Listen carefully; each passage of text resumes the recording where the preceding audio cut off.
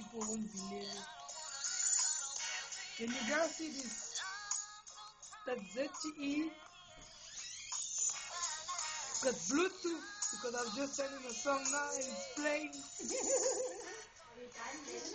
playing.